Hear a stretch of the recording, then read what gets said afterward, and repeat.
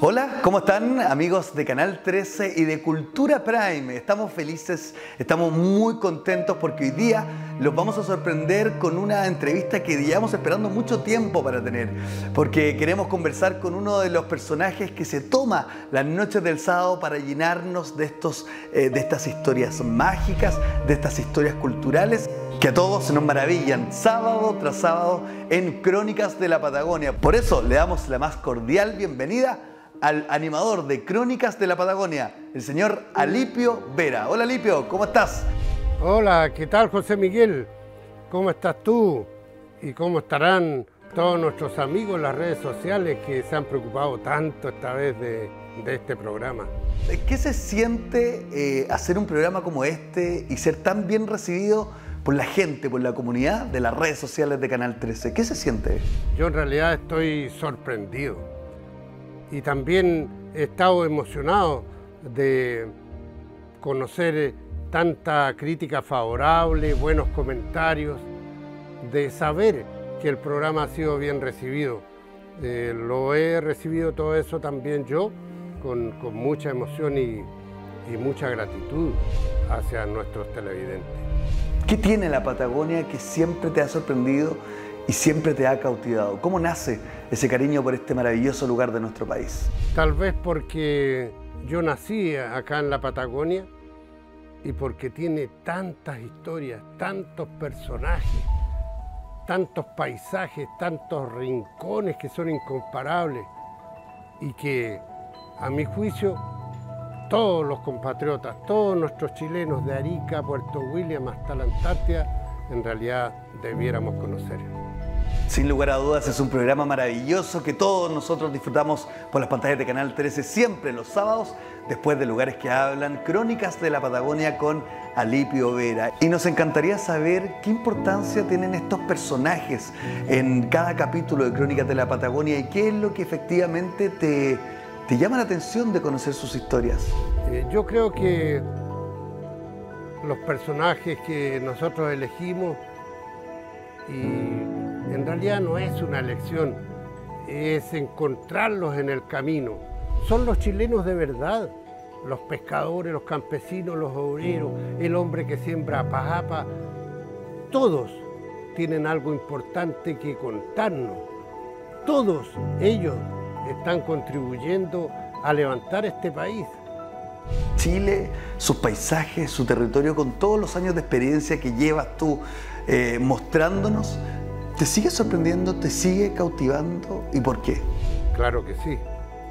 Nuestro país tiene tan grande diversidad de paisajes, de pueblos, de rincones hermosos, de personajes, de historias humanas, que uno puede estar toda la vida trabajando no solo en el sur del país, no solo aquí en la Patagonia, sino que en Arica, en el altiplano, en la cordillera eh, eh, fronteriza con la Argentina, en fin, en cualquier parte, nosotros podemos tener siempre grandes y nuevas historias de nunca acabar. Fantástico, muchísimas gracias Alipio. También me surge la inquietud eh, por saber qué es lo que pasa contigo al conocer estos personajes esforzados, valientes, y, qué es lo que te llega a ti como persona humana al conocer estos maravillosos eh, personajes que abundan en nuestro país y especialmente en la Patagonia. Me emociona y agradezco la oportunidad que el medio me da de abrir una ventana para esa gente eh, que no conocemos de nuestro país o que conocemos muy poco. Me emociona eh, ser un intermediario, tener esa oportunidad y le agradezco, le agradezco al medio que, que me permite hacer este trabajo, que para mí en realidad no es un trabajo, es un tremendo agrado abrir las ventanas y las puertas para que nos conozcamos más en este país tan hermoso y que, no sé, al parecer en estos momentos está tan mal traer.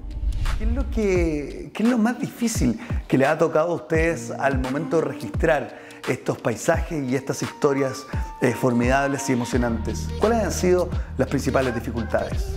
Encontrar las historias eh, no, no es difícil, es muy fácil. Estamos llenos de historia en este país. Eh, los largos viajes no cansan cuando tú vas recorriendo tu país, conociendo gente, lugares, en fin, no te cansa, es un agrado. Lo que ha sido difícil en realidad ha sido trabajar en pandemia. Tantas prevenciones tenemos que tomar nosotros para no afectar la vida de los personajes que vamos a visitar, de los pobladores con los que hemos conversado en estos capítulos. Eh, eso es en realidad lo más difícil.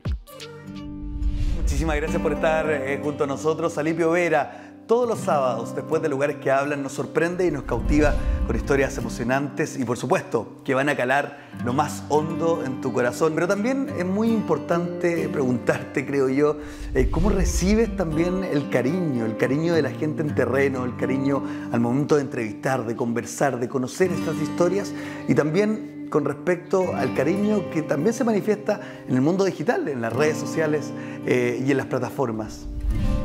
Yo lo recibo con mucha humildad y me cuesta entender que, que la gente me exprese tanto cariño.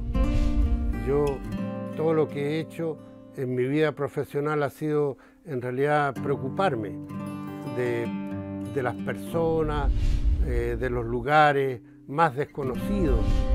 Pero eso no creo que sea un gran mérito. En realidad no sé cómo agradecerle a tanta gente eh, ese cariño, ese apoyo y, y tanto aplauso que de repente mm, a mí por lo menos no me marea, pero me cuesta asimilar y me emociona. Un programa emocionante y gracias Alivio por abrir tu corazón y darte este espacio para conversar junto a nosotros. Eh, también preguntarte qué es lo que viene, o sea, aún tenemos mucho por ver, muchas historias por conocer, con qué nos iremos sorprendiendo todos los sábados después de lugares que hablan con crónicas de la Patagonia. Alipio. Yo creo que por ahora muchos detalles no les voy a entregar, pero lo que sí les aseguro es que cada capítulo de Crónicas de la Patagonia los va a sorprender y nos va a permitir conocer mejor nuestro querido país. Eso sí. Muchísimas gracias por este tiempo, Alipio, de poder conectarte con la gente, de poder conectarte con esta audiencia tan relevante a la cual siempre estamos tratando de darles este contenido exclusivo. Y también mandarte un cariñoso abrazo y un saludo para que efectivamente esta aventura de Crónicas de la Patagonia continúe por su mejor rumbo. Por último, obviamente, tu última invitación para que la gente de Canal 13 se siga maravillando con Crónicas de la Patagonia. Alipio, aquí tu momento gracias a todos. En realidad, no sé, me faltan palabras para expresar eh, lo que siento.